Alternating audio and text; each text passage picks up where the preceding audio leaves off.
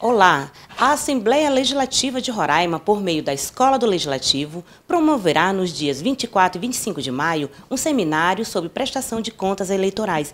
E agora vamos falar com Mário Rocha, que é gestor financeiro, que será o que vai ministrar né, a palestra. Então, Mário, é, quem é o público-alvo que poderá participar desse seminário? Olha, a princípio, é, os possíveis candidatos na próxima eleição, mas ah, ah, o povo em geral poderá participar. Então, quem é, onde será feito essas inscrições? É, no site da Assembleia e o, o curso, a, a palestra será na, nas colégios. E o foco dessa administração desse seminário?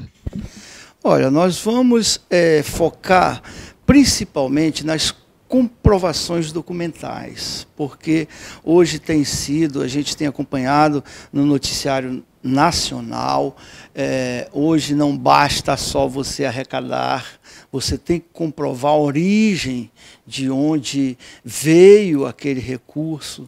É, empresas não podem mais fazer doações e as doações que foram doados, é, é, feitas para os partidos em anos anteriores, não poderão ser empregadas nesta eleição. Então, o nosso objetivo principal, o objetivo principal é, que foi solicitado era para que o candidato, é, após ter feito todo o esforço, mais tarde não venha ter que perder o seu mandato por conta de documentação errada. Obrigada. Voltamos ao estúdio.